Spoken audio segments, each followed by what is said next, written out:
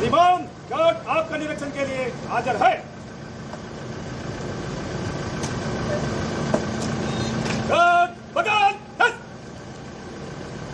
Sentry कर रहे guard किसान